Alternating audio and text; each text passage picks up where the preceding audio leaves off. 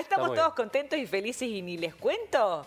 Laura, nuestra amiga, ¿eh? desde Italia, Seguimos allí compartiendo semejante triunfo. La Tana que viene a compartir esta alegría enorme, ¿eh?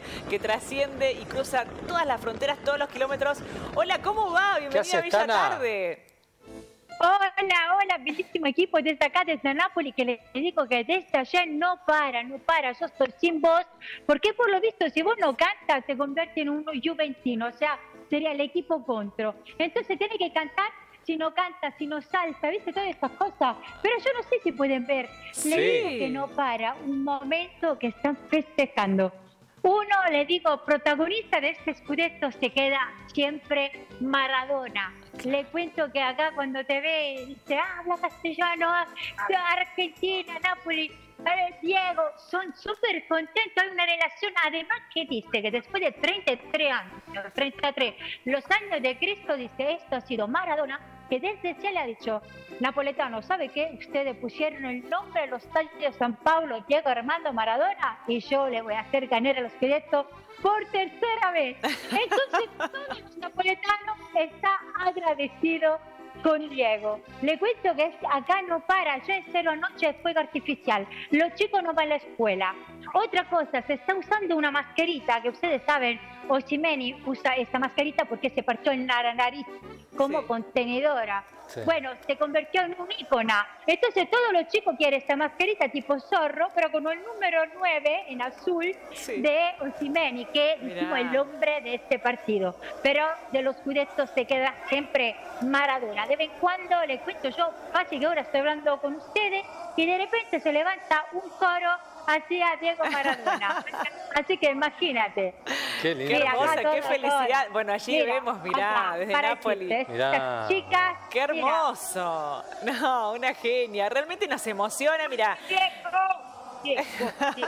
Muy bien, bueno, para nuestra televisión Diego argentina. en todos los lugares, es emocionante. Seguro. Gracias, disfruta la Argentina.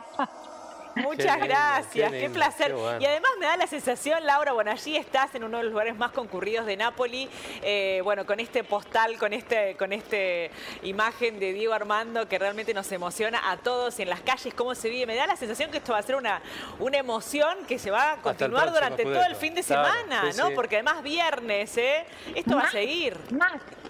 Más, le cuento porque el domingo va a jugar con la Fiorentina. Ayer matemáticamente hasta que estaba empatando, que estaban todos en un silencio bárbaro, luego cerrando con empate que era suficiente para ganar los Scudetto, matemáticamente explotaron. Y el domingo va a jugar con la Fiorentina y otra fiesta, le da igual. Yo creo que van a festejar cuando se lo pregunté, me dijeron un mes. El otro me decía, se quedaron cortos, que un mes y un mes, vamos a festejar más. Claro, fíjate, tienen. van a poder festejar allí en el estadio y después se viene la clasificación a copas internacionales que le va a permitir a Napoli estar de nuevo en el escenario, ¿no? Como lo estuvo con, con Diego. Esta alegría es difícil de explicarla, Laura, ¿no? Porque uno ve en, imágenes, casi hablábamos con Juli, parecía como un comienzo de año allí. En los festejos han sido realmente increíbles. Qué necesidad que había de, de festejar un campeonato, ¿no?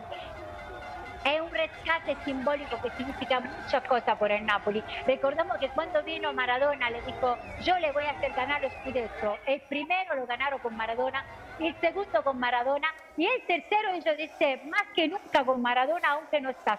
Le digo que la verdad es muy emocionante. La imagen es linda, pero cuando la vive te hacen llorar, te emociona. En un momento se levanta coros hacia Maradona, hacia Nápoles. Todos se conocen, nos convertimos todos en amigos. Hola, papita, tomaste el cafecito, un expreso. Sos argentino, es una Argentina, Maradona. O sea, amigo, todo amigo.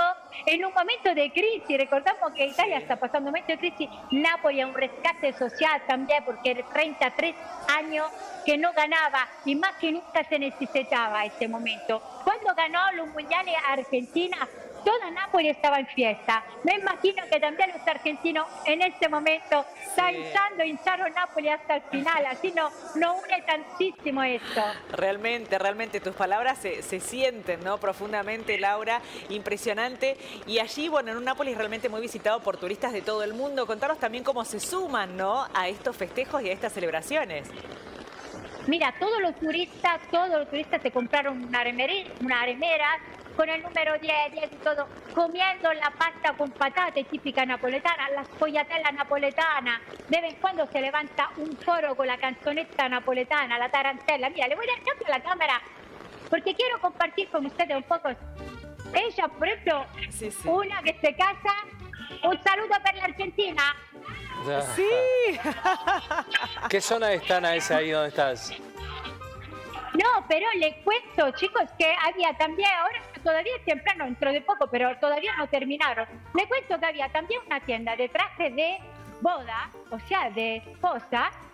Bueno, los trajes suelen ser blancos. No, era blanco y celeste, o sea, y azul traje de boda con el número 9 y yo me apuesto, chicos, que alguien se va a casar con trajes así. No le quepa duda. Muchos chicos se tatuaron en los cudetos escrito 3 diciendo yo estuve.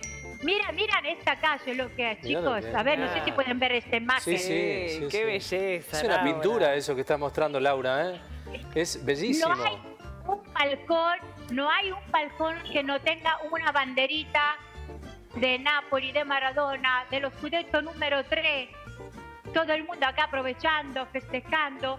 Luego de vez en cuando, una cosa, ves también motoretas, motitas con tres chicos, sin casco, sin nada, pero yo no sé cómo conduce. Ahora entiendo cuando te dicen si conduce en Nápoles, conduce en cualquier lugar del mundo. Es verdad, no se puede equivocar. Es increíble, es increíble. pero se pisa, se choca, se sonríe.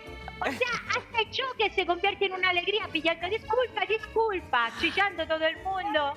Una alegría, bueno, muy necesaria también un tiempo medio complicado, ¿no? Lo decías recién, Laura, en donde la gente necesita de alguna manera, bueno, esta, esta celebración, esta descarga, ¿no? De algún modo. Exactamente, es una descarga, una descarga al alma, sobre todo, sí. Es una descarga que te regala una sonrisa.